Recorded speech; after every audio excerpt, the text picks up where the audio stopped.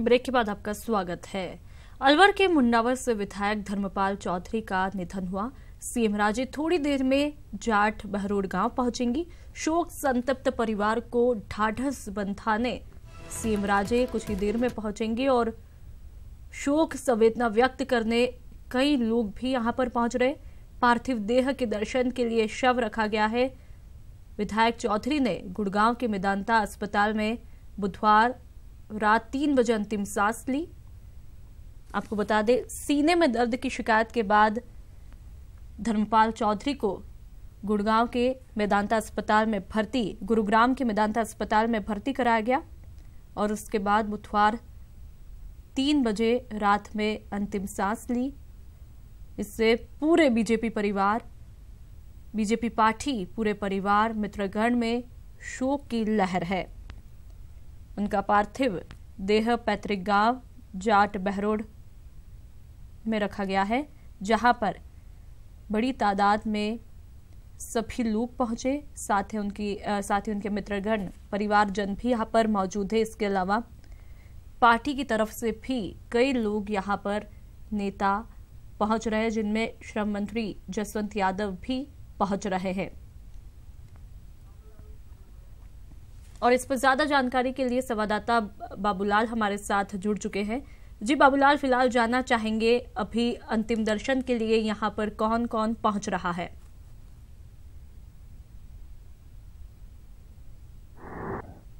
वो श्रद्धा सुमन अर्पित करेंगी और उसके बाद में अंतिम संस्कार होगा धर्मपाल चौधरी का। ये उनका पैतृक घर है जाट बाय रोड में और यहाँ पे बड़ी संख्या में लोगों के आने का सिलसिला शुरू है, हो गया है और लोगों की आँखें नम है, वो ज़िंदा दिल इंसान थे और लोगों से बहुत गहरे रिश्ते थे उनके। वसुंधरा सरकार के कई मंत्री भी यहाँ पहुँचे हैं।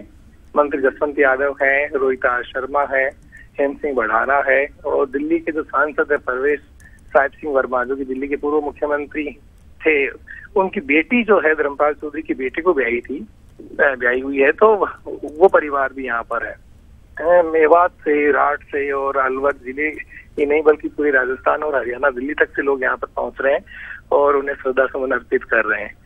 धर्मपाल चौधरी, आम जन के नेता थे, किसानों के मसीहा थे और जहाँ भी लोग उन्हें याद करते थे, वो पहुँच जाते थे उनके बीच। एक सच्चा किसान नेता लोगों ने खो दिया है, बहुत संघर्ष किया उन्होंने और लोगों के बीच में एक छाप छोड़ करके चले गए। एक लकीर खेची उन्होंने सादगी से जीवन जीने की और आम आदमी का नेता बनने की। तो जो भी इस इलाके की अब नुमाइंदगी करेंगे तो उनके लिए बहुत बड़ी चुनौती होगी। मेरे साथ में राजेंद्र जुड़ रहे हैं जो कि हमारे स्थानीय सहयोगी है। राजेंद्र खूबी क्या थी धर्मपाल चौधरी की जिसकी वजह से आज इतनी बड़ी संख्या में लोग आज यहाँ पर उन्हें श्रद्धांजलि देने पहुँच रहे हैं? जी धर्मपाल चौधरी की बात की जाए तो आम जन से जुड़े हुए लोग जनता के बीच में हमेशा रहकर उनके दुख दर्द बांटते थे और लगातार जो लोगों के बीच में उनकी मौजूदगी थी, उस मौजूदगी की वजह से आम जनों का बड़ी संख्या में लोगों का जो हुजूम है, वो यहाँ दिखाई दे रहा है। बड़ी संख्या में जो लोग हैं, वो श्रद्धा सुमन अर्पित करने के लिए यहाँ मौजूद हैं, और कुछ ही देर में सीएम राजे यहाँ पर पहुँचने वाली हैं। और मंत्री हेम सिंह बटाना यहाँ पर आ चुके हैं, जसवंत यादव यहाँ पे हैं और रोहता शर्मा यहाँ पे मौजूद हैं। बड़ी संख्या में पार्टी के पदाधिकारी और नेता के अलावा पुलिस के आला अधिकारी मौजूद है। आई जी हिम्मत यदपि यहाँ पर व्यवस्थाओं की जिम्मा संभाले हुए हैं। एसपी राहुल प्रकाश यहाँ पर मौजूद हैं। तो जिस तरीके से जो लोगों के बीच में वो रहते थे, वो कहीं ना कहीं आए हैं जुड़ाव जो जनता के बीच में उनका रहा है, उसकी वजह से ये जो अपूर्णीय क्षति मुंडावर सहित पूरे ज़िले के लोग हैं उनके बीच में अपूर्णीय क्षति मानी जाएगी। जी बाबूलाल साथ ही उनकी लोकप्रियता का अंदाज़ा इसी से लगाया जा सकता है कि तीन बार वो विधायक पर रहे 2003 में 2008 में और 2014 में। जी हाँ विधायक तीन बार यहाँ से लगा चुने गए हैं तो जनता के बीच में लगभग लगातार उनकी जो लोकप्रियता है वो लोकप्रियता की वजह से लोगों के बीच में उनकी जो पहचान थी इस वजह से वो लगातार जीत रहे थे। और जब तक कद्दावर जाट नेता माने जाते हैं अलवर ज़िले की जाट महासभा थी उसके चौदह साल तक लगातार अध्यक्ष रहे हैं।